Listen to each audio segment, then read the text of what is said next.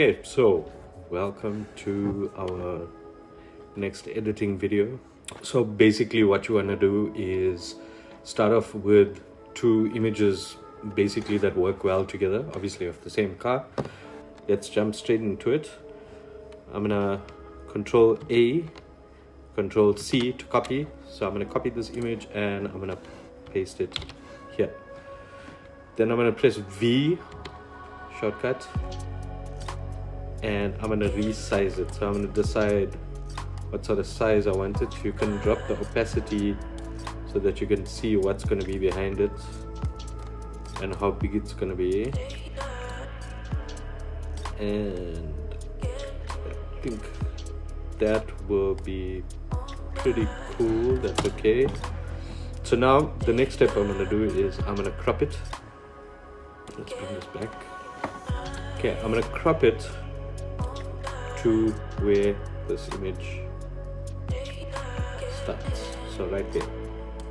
Right, you can go ahead and change this at a later stage. You can even crop before, but I usually like to put it on, see how it looks, and then okay, cool.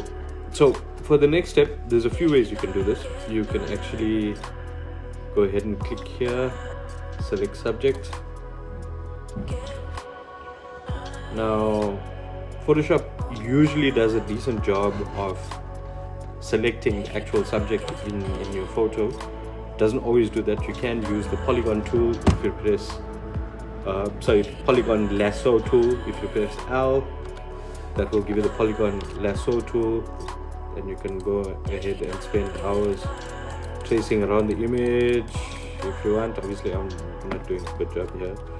But what I like to do is I like to select subject Uh, go up here press and hold quick selection tool and then I go in and I have a look. And then its default is on plus. I don't know if you guys can see the plus there. So if you press and hold the alt key turns it into a minus so I'm removing a selection. So I just brush over that. Brush over this person here brush over this person brush over there. Brush there. Brush there.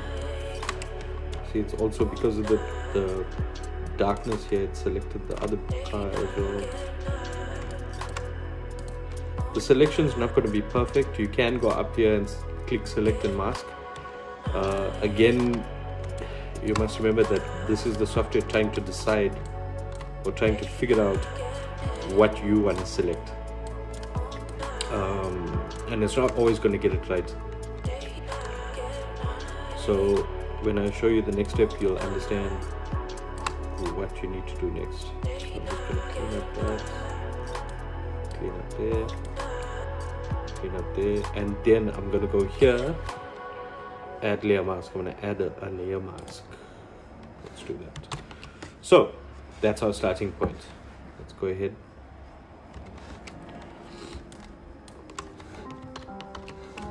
So I've selected, I've clicked B, B which is for brush, that's there. And if you look at the soft or hardness, it's on zero. I'm gonna reduce the size a bit. Now, the white area is showing you what it's revealing, what the mask is revealing. The black is showing you what's it, what it's concealing. So basically what I want to do is now I want to conceal or I want to reveal the bottom here. So I want this to be white. So I'm going to go ahead and change that to white. And I'm going to do that.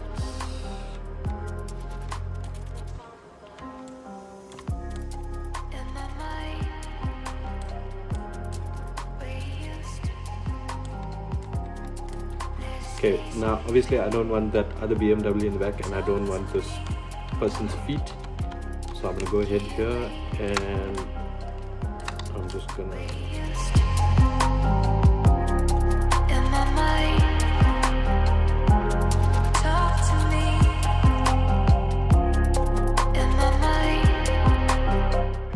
So as you can see the selection isn't perfect but with creating the mask we can basically work at it from there. So I'm gonna go ahead and increase the hardness of my brush to 70% and reduce the brush size and we're gonna start neatening up this edge.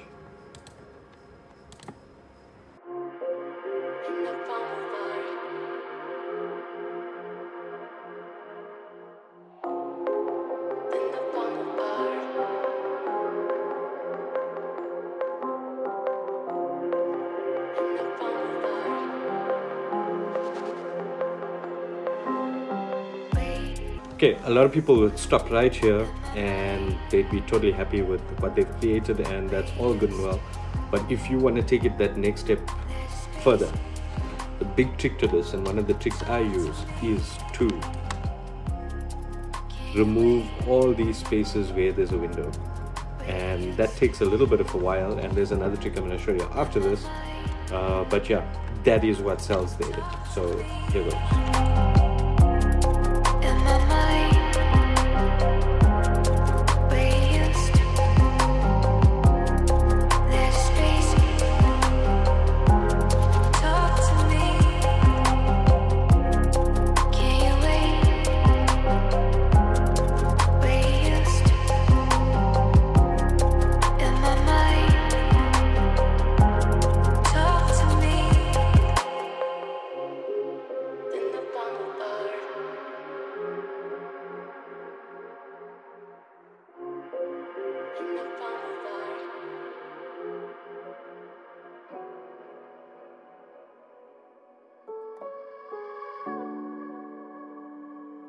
Okay, now once you've basically uh, revealed everything through the windows and made them transparent, it obviously looks kind of crappy. It looks like you just did a shitty uh, mask job. So the one way to actually fix that is to create a tint. And how you do that is create a solid color and you go and you pick that as a color basically sample from the window tint. So the window tint is a bit bluish. You sample there let's go a bit brighter. Click ok. And then you got to change your blend mode. So basically it's set to normal by default. And if you go here you can basically see there's different modes. And so obviously it's affecting the whole thing and we don't want it to affect that, but I'll get to that in a second. Usually I go with like screen or overlay. Overlay tends to work nicely as well, but it varies per image. Okay, so we're gonna go with that. Once you've done that, you change, it comes with the layer mask, you, cha you change it to black, and then you wanna only reveal it basically where there's a window. So I'm going to go back to brush, increase the brush size, and make sure it's set to white, which is reveal. And then I'm going to go there.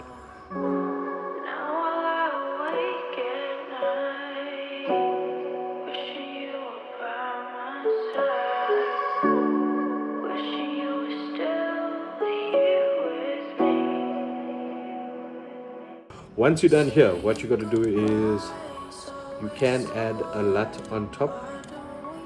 Basically what that's gonna do is even out the whole image. So basically what it's it's it's gonna show you that the whole image is edited together and it's gonna kind of sell it as one edit. What you could also do is add a curves layer and you go up here and you drop the highlights slightly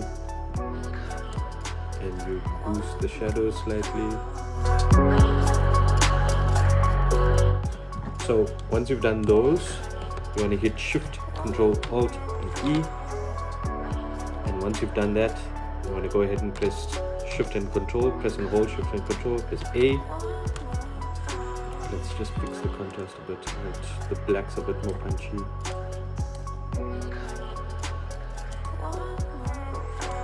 Highlights a bit Yep, I that looks okay. Control J to copy. Shift Control A again. Come down here to effects.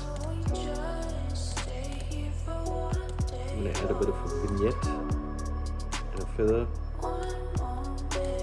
Yeah. and yeah I think that's it. I think I'm happy with that. Um, so as I said just to run through quickly two main points to selling this effect is making sure that you reveal the windows or mask out the windows to reveal what's behind it and then add uh, the tint or the color of the windows uh, just behind that layer to actually sell the effect.